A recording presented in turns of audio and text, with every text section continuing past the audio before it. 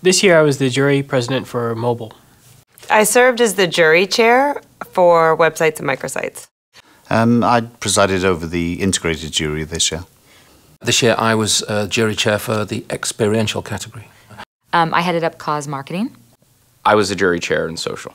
This year I chaired the product integration jury. I was the jury chair for viral slash web films.